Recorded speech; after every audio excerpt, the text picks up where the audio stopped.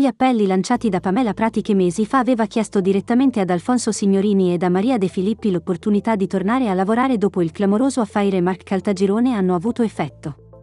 Si vocifera che l'ex volto del bagaglino potrebbe ritornare al GF VIP, dopo una passata esperienza alquanto controversa che ha scatenato un polverone.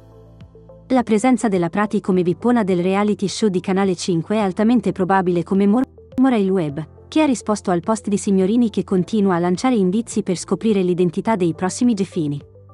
Dopo aver confermato la presenza della rapper di origini marocchine e spagnole, Cadia Rodriguez, il conduttore è passato a svelare l'identità del secondo coinquilino della casa di Cinecittà.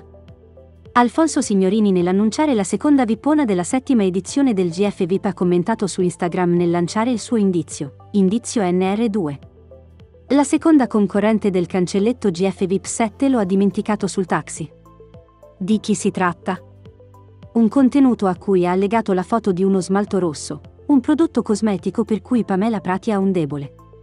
Gli utenti che ricordano come si è conclusa l'avventura della Prati durante il GF VIP 1 quando eliminata dal gioco ha chiesto di chiamarle un taxi, potrebbe rientrare nel bunker di Cinecittà per riscattarsi dopo anni difficili per la sua professione a causa soprattutto dello scandalo mediatico del matrimonio fantasma con Mark Caltagirone. L'indizio di Signorini ha innescato la calda partecipazione degli internauti che hanno firmato una valanga di commenti nei quali hanno fatto soprattutto il nome della Prati come possibile vippona del reality. Non sono mancati poi pareri contrariati, Alcuni non hanno apprezzato il fatto che si sia riciclato un nome delle passate edizioni del GF VIP.